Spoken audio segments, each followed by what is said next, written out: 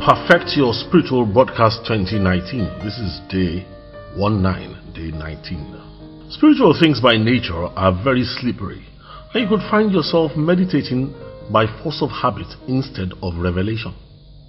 Hebrews chapter 2 verse 1 says, Therefore we ought to give more earnest heed, more attention to the things which we have heard, lest at any time we should let them sleep. We are going to backtrack a bit today to make sure that we are still aimed for the perfection of our spiritual broadcast in Christ, to make our faith productive.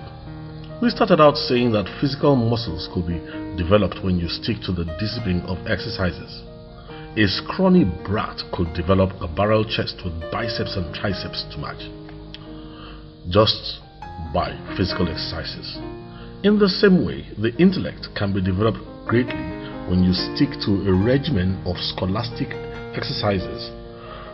So also the spirit man too can be developed and put to great use and profit when you permit your spiritual man to be subjected to a regimen of spiritual exercises over a period of time. Going back to our notes, we recall the scripture that says that the spirit of a man is the candle of the Lord. Proverbs 20, verse 27. This means that God reckons with our spirit man or inner man, as others would describe it.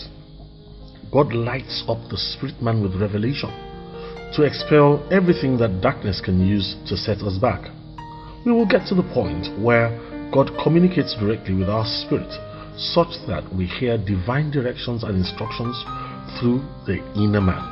Imagine what life would be if you could hear God clearly on the matters of life. God is a spirit and He communicates with us through our spirits directly, not through the intellectual mind. This is the error that many make in thinking that God will speak to them physically or, you know, into their ears. When our inner man is well matured and developed, it will seem as if God is speaking audibly when He talks to us because of the clarity with which the inner man picks divine communication.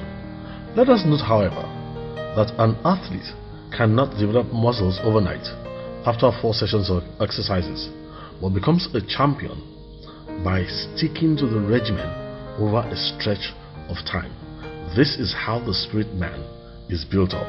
So let us pray for the patience to stay obedient and submitted until Christ is fully formed in our spirits. The prayer meditation of today is taken from Galatians chapter 4 verse 19. My little children, of whom I travail in birth again until Christ be formed in you.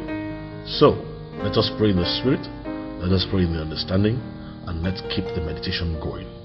God bless you.